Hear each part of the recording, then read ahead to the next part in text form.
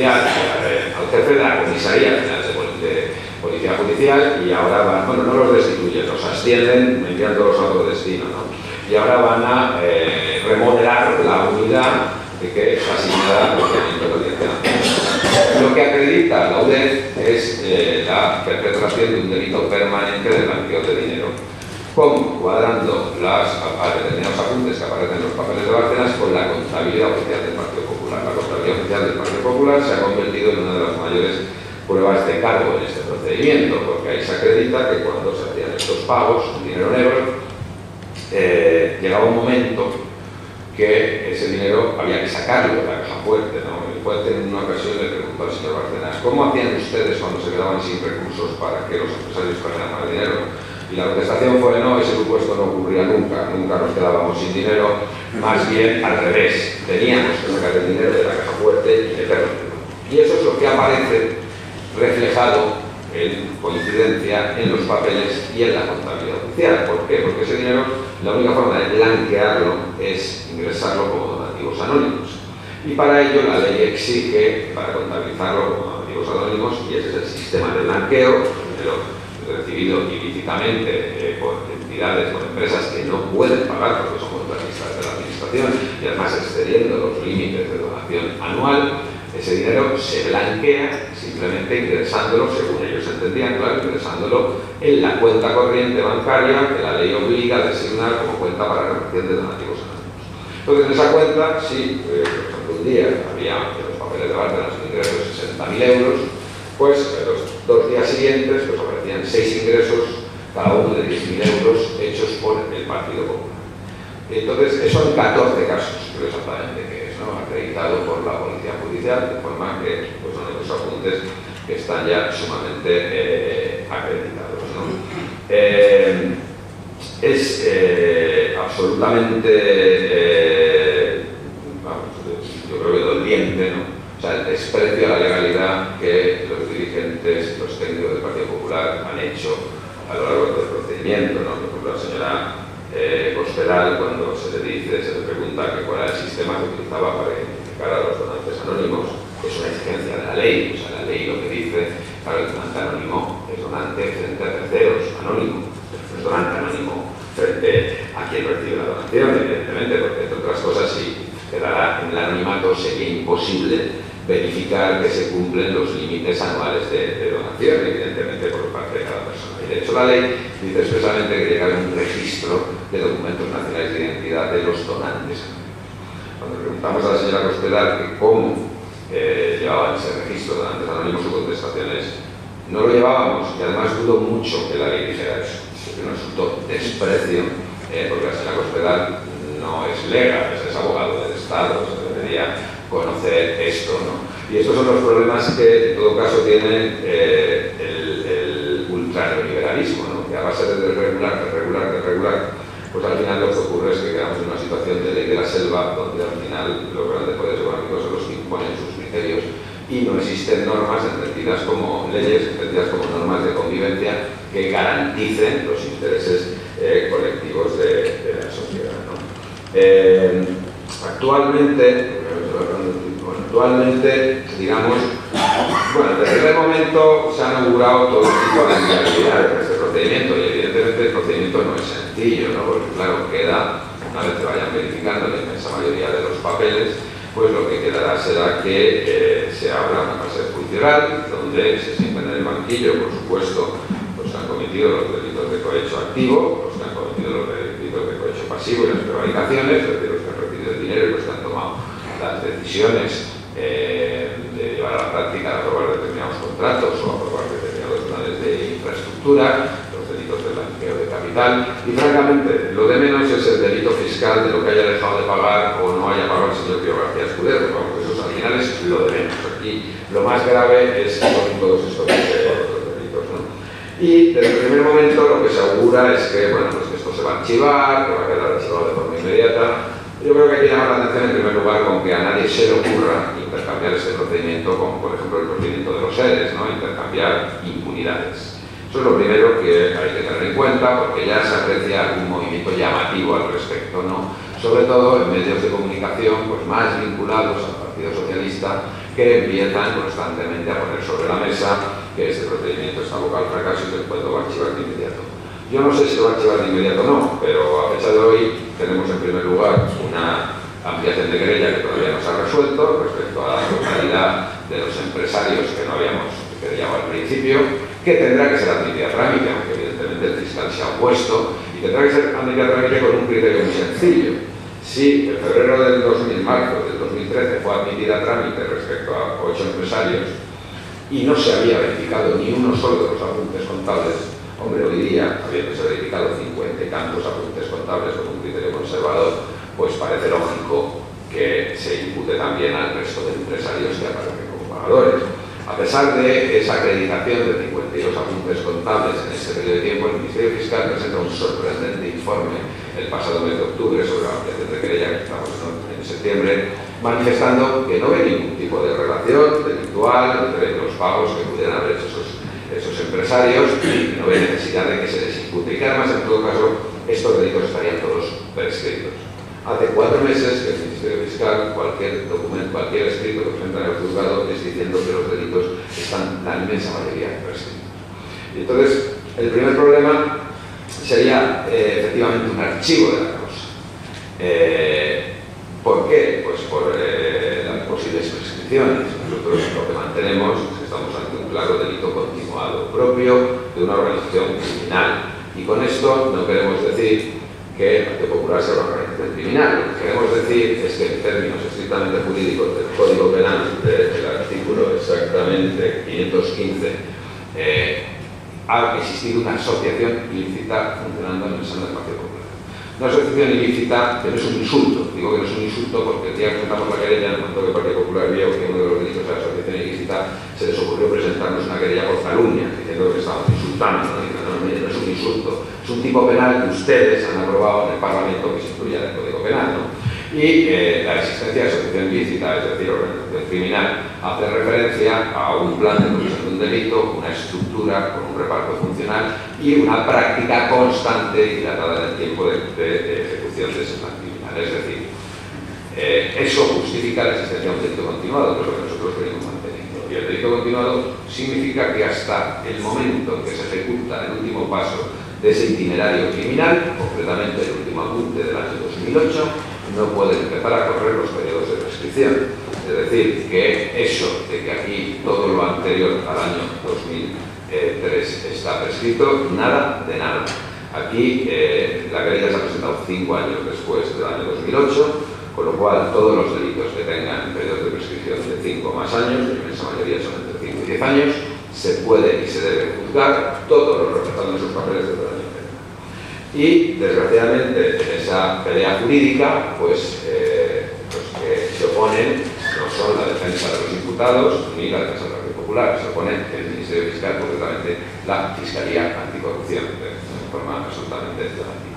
Y el segundo elemento con el cual se puede evidentemente hacer naufragar este procedimiento sería repetir la exitosa estrategia eh, procesal que eh, llevó año 89 a la anulación de las pruebas de cargo contra el señor Maseiro, a que todos estos señores quedaran sin ningún tipo eh, absueltos y sin ningún tipo de responsabilidad penal declarada y que ha permitido seguir funcionando. Es decir, la más clara estrategia del Partido Popular en esos momentos es conseguir la nulidad de las actuaciones. Y la nulidad de las actuaciones pues, depende de que eh, las acusaciones cometamos el más mínimo error, evidentemente, y a partir de ahí, pues por la doctrina que se llama del árbol envenenado, pues eh, de la declaración de nulidad de una, de una prueba, eh, pues se consiga en forma encadenada ir anulando las posteriores que se han derivado de la práctica de esa diligencia y a partir de ahí nos quedemos nuevamente sin ningún tipo de prueba con la que eh, llevar a juicio estos señores. Por eso, pues no solamente eh, hay que actuar con muchísima prudencia y con mucha solvencia, sino que además, y es lo más importante, lo que hay que dejar claro es que procedimiento no responde a un interés partidario, sino que responde a un clamor y una necesidad de clarificación que exige la sociedad. Para eso, y acabo como empecé, para eso se puso en marcha esta coalición para eso se requiere el apoyo de los ciudadanos, porque mi impresión al menos es que, a diferencia de lo que ocurrió en el año 89, que se declaró la actividad de las actuaciones, es decir, que esto quedó en una situación de absoluta impunidad y no tuvo mayor trascendencia, da la impresión de que hoy día la sociedad española probablemente no va a permitir una maniobra parecida o por lo menos no lo va a permitir eh, de una forma eh, callada y dócil. ¿no? Y es fundamental contar con el máximo de apoyo ciudadano y con, sobre todo, transmitir, eh, hacer transmitir la información de este procedimiento, de lo que está saliendo a reducir. Cada vez que tocas un papel o un apunte, la verdad es que da miedo, ¿no? Si tocas algo en Galicia, pues es que empiezas a ir contratos en Galicia y entonces ya pues hasta las ciudades de la cultura, o sea, cualquier cosa, ¿no? De esto apenas la institución apenas ha empezado, apenas ha empezado y ahí hay que destacar el, trabajo del juez, porque aparte de que a veces, pues evidentemente no coincidamos con sus eh, criterios procesales y por eso le recurrimos las resoluciones, lo que no cabe duda es que no es plato de buen gusto eh, estar instruyendo un procedimiento de estas características estando gobernando el partido que ha eh, mantenido y desarrollado esta asociación ilícita para la comisión de estos delitos. yo me imagino que las prisiones son múltiples. Pero por eso lo que es necesario es que la ciudadanía conozca este procedimiento y que eh, se deje percibir eh, a los poderes públicos que no puede nuevamente haber una situación de impunidad. Para eso nosotros hemos puesto en marcha más mecanismos de apoyo Fundamentalmente, el, principal mecanismo de apoyo que pusimos en marcha cuando el Partido Popular formuló la querella por calumnias eh, contra eh, Izquierda Unida y el resto de organizaciones querellantes antes de poner la querella. Ese día lo que hicimos fue abrir una página web, www.querellabatnas.org, donde, aparte de que a fecha de hoy, pues ahí está toda la información de la causa y las resoluciones judiciales, los que se ponen, etcétera, etcétera, eh, lo que pedimos a los ciudadanos fue que eh, hicieran suya la querella, pero que hicieran suya la querella no con una firma, sino con su número de carne de identidad, es decir, que se adhirieran a la querella. De forma que indicáramos al Partido Popular que si quería querellarse contra los que se habían querellado contra esa formación política, contra no la formación política, contra sus miembros, pues que no iba a querellarse contra cinco personas, sino que iba a querellarse contra unas pocas más y en 10 días, pues afortunadamente 27.000 personas entregaron su carta de identidad eh, para eh, al Partido Popular que también ellos eh, se querían. Algo habrá tenido de influencia, porque lo cierto es que a fecha de hoy el Partido Popular puso la acción previa que exigen las leyes para interponer una querella por calumnias, una codificación previa vía civil, y comparecimos en esa comparecencia, para redundancia, entregamos nuestras alegaciones y a fecha de hoy el Partido Popular no se le ha ocurrido formalizar la querella. Por lo cual es útil, necesario e importante contar con ese apoyo eh, ciudadano. Y además, y otro elemento fundamental, no es nada fácil abordar este procedimiento porque cada uno de estos empresarios a los cuales nos hemos querellado no es que tenga un abogado, es que tiene contratado pues, a uno de los despachos de abogados de España encontramos frente a auténticos equipos eh, de muchos abogados y con conocimiento, ¿no? Y francamente, pues entre los tres, cuatro abogados, cinco del núcleo que estamos trabajando esto de forma más pues, desinteresada, pues es muy complejo, porque es imposible, estamos hablando, o sea, cada este expediente son miles de folios, cada expediente de simplemente una contratación, de un contrato, ya podemos estar hablando de 2.000, 3.000 folios, ¿no? Y estamos hablando de cientos, si no miles, de contratos que hay que analizar en la causa. Eso lo que hemos pedido es apoyo ciudadano para conformar equipos de trabajo con empresas que vayan descomponiendo esos contratos con la información que obtenemos las acusaciones en los, tribunales eh, y vayan analizando los pagos, los procedimientos de contratación, los beneficios que han obtenido las empresas, etcétera, etcétera. Equipos que pueden estar compuestos, no para que sean mucho menos juristas, puede ser con otra formación, economistas o gente incluso que no tenga ninguna formación, porque en muchos casos lo único que falta es realizar una tarea de documentación y tener un mínimo sentido común para relacionar con las fechas de los pagos, con el otorgamiento de contratos y por eso pues, poder analizar con unos mínimos eh, conocimientos de contratación administrativa que estamos dando obviamente en esos equipos, estamos dando la correspondiente formación en los procedimientos de contratación administrativa que puedan detectar las irregularidades. ¿no? Y gracias a eso pues han puesto ya en funcionamiento, ya tenemos 10 equipos que corresponden con las 10 principales empresas todas las hemos querellado y el procedimiento marcha para adelante. Entonces, bueno, pues eh, yo nada más, simplemente acabo con eso, diciéndoles que este es un procedimiento que que ser de toda la ciudadanía, porque consecuencias de estas prácticas las está padeciendo y de forma bastante dura toda la ciudadanía de este país. Nada más, muchísimas gracias y a su disposición para resolver cualquier duda, cualquier comentario.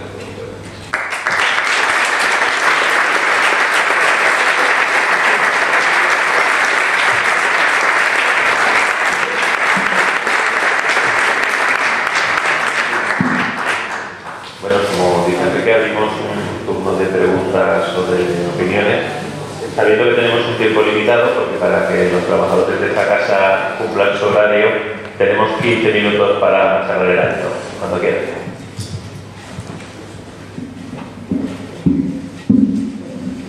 Eh, eh, por ejemplo, de quedarse una vez agotado por los recursos, constatado que judicialmente que, que el Partido Popular hay una posición ilícita y además de manera generalizada podría estar en el futuro después a, la ilegalización del Partido Popular eh,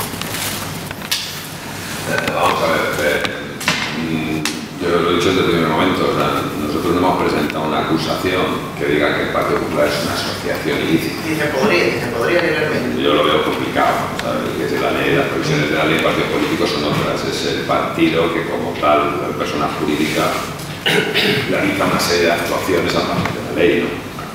Nosotros lo que queremos que evidentemente, eh, a ver, el pacto no se hacía entre toda la militancia del Partido Popular, ni siquiera se hacía entre toda la dirección del Partido Popular, el pacto se hacía entre muy poquitos, de forma permanente, de forma constante, entre muy poquitos, entre quienes, los que tenían capacidad de dirección del Partido Popular y entre los que se juntaban en el Consejo de Ministros, claro. Eso que acredita, pues acredita que eso no responde a una política eh, digamos, generalizada, responde a una política eh, localizada en los altos responsables. La responsabilidad política es la misma, pero la responsabilidad política no es la misma. Entonces, francamente, eh, por eso intentar llegar al Partido Popular, yo creo que desde el punto de vista estrictamente jurídico es muy complicado. Vamos, ya quedaríamos contentos si consiguiéramos una sentencia que condenara por la asociación ilícita. Eso sería la primera vez que ocurre en la historia de este país, que se eh, establece que en el seno de un partido, no por cuestiones relacionadas con el País Vasco, que es otra cosa, sino en el funcionamiento corriente del partido, se ha eh, constituido una asociación ilícita que ha llevado adelante parte de la gestión de ese partido. Rafa. ¿En los papeles de Bárcena se puede evidenciar algún caso de corrupción en la provincia de Córdoba? Eh, la, yo, pero digo, los casos de corrupción de la provincia de Córdoba estarán en la trama búsqueda. Porque aquí el reparto estaba muy claro y de las estructuras. Lo que sí hay en la provincia de Córdoba son obras que, ha realizado la Administración Central del Estado eh, por las cuales se, ha, se, haya pagado, eso sí. Eh, las de mantenimiento del AVE, por ejemplo, que se han dado de qué manera y cómo no. La autopista, la de la P7 creo que es, creo que no llegó al final, tenía que haber llegado a Córdoba, pero no sé si llegó a entrar en la provincia de Córdoba, ahora mismo no lo sé. Esa es una de las que está en el paralelo, o sea, la que salía de Madrid Toledo tenía que enlazar con Andalucía, que es la última que ha quebrado.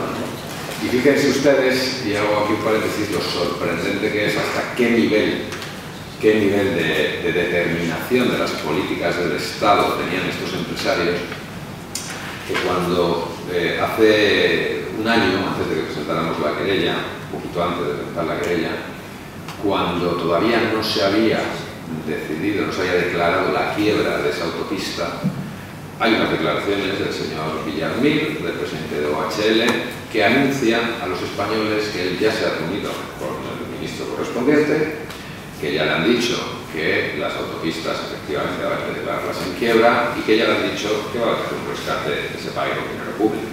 O sea, se llega a la desfachatez ¿eh? de primero cobrar la autopista, luego por el mantenimiento, luego mm, ni siquiera nos lo anuncia el ministro o el Consejo de Ministros, luego el mismo empresario que aparece ahí pagando, pues es que nos anuncia y además ya hemos acordado que vamos a pagar ustedes ciudadanos. Una cosa absolutamente escandalosa. No condiciona mucho a poder uno ser titular de lo que claro, su actuación el problema es más complejo, ¿no? porque no es que condicione. es que hay defensas, pues, bueno, eso yo imagino que sí, que condicionará, o sea, eh, bastante tiene el juez que lleva adelante un estas características eh, como para además no ser titular del juzgado, eso además, ¿no? y eso evidentemente condiciona, pero hay ese elemento se está intentando utilizar para provocar la actividad de procedimiento por parte de las defensas de los imputados. ¿no? ¿Con qué argumento? Bueno, con el argumento de que el hecho de que a un juez se le esté prorrogando sistemáticamente los periodos de sustitución de seis meses contraviene el eh, derecho, el principio constitucional, el derecho al juez predeterminado por la ley. Estaría vulnerando, o sea, ya no sería un juez predeterminado por la ley, sino que el argumento es que las renovaciones de esas condiciones de servicio entonces eluden el juez natural, eluden la, la efectiva jurisdicción por el juez natural. Con lo cual, ese es el, grave problema del asunto. ¿no? Por otra parte, la, la, aprobación de los últimos presupuestos del Estado, los, eh, en debate parlamentario posterior, que se presentan resoluciones, hubo una resolución en el Congreso de Diputados que se aprobó por unanimidad propuesta por Izquierda Unida, eh, fue antes, o sea, no se, había, no se conocían los papeles de Bárcenas, ¿no? esto fue en diciembre o noviembre del año pasado, los papeles recuerden ustedes que se proceso de existencia en enero del 13. ¿no? Pero esa resolución, ¿qué es lo que dice? Como un criterio, Izquierda Unida presenta una resolución diciendo que en los casos de criminalidad, de de casos de macrosumarios de corrupción, eh, se modifiquen las leyes de procedimiento y la ley orgánica del Poder Judicial para que bajo ningún concepto se remueva al juez que lleve la instrucción, incluso aunque finalice su destino en el juzgado, se le mantenga como juez especial de apoyo hasta que acabe la, instrucción del sumario para evitar que pues la instrucción, por ejemplo, casos como la instrucción del asunto Fabra de Castellón, que la instrucción ha durado 14 años porque han ido cambiando de jueces y ningún juez atrevía aquello, claro, estando ahí transitoriamente a tomar la decisión de, definitiva. ¿no?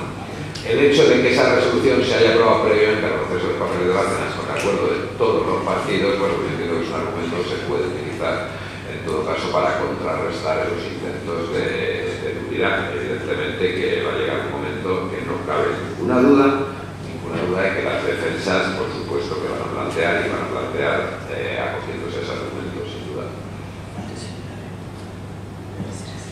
La última. ¿Se, ¿Se, sabe si hay alguna conexión, no, no lo tengo claro, entre el caso del empleado de banca este, el B. Falciani, que ha colaborado con agencias tributarias francesas y españolas, y, y, el descubrimiento de las cuentas en Suiza, de base? Eh, probablemente se sabrá. El problema es que esa lista, la lista Falciani, eh, pues no se ha divulgado. La tiene la Hacienda Pública Española, la tiene, porque eso fue parte de la negociación con Falciani tradición, eh, la tiene, eh, pero lo que es cierto es que eh, los 50 millones hasta ahora identificados en Suiza en cuentas del señor Bárcenas se han detectado exclusivamente por la contestación por parte de las autoridades suizas de comisiones rogatorias. O sea, en absoluto por ninguna actuación de la Hacienda Pública Española. Con lo cual yo creo que evidentemente eso tendrá que salir, ¿no? O sea, hace poco recientemente ha salido, por ejemplo, lo de Luis Fraga, ¿no? El sobrino de Fraga, íntimo amigo de Bárcenas, que acaba de salir, que también es titular de cuentas corrientes en Suiza, que probablemente estén relacionados con la misma estructura criminal, probablemente, porque casualidad, este señor que es íntimo amigo de Bárcenas desde la juventud, además, ¿no? Pero vamos, hasta ahora la hacienda, la hacienda pública, la agencia tributaria no se ha caracterizado por su agilidad y eficacia a la hora de perseguir estas actuaciones, sino todo lo contrario.